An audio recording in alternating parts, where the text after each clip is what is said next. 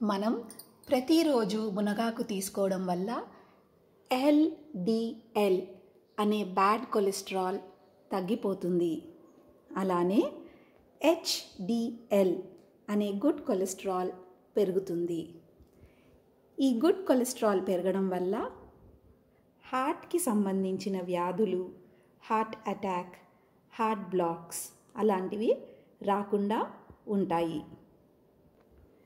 LDL అంటే low density lipoprotein. HDL stands for high density lipoprotein.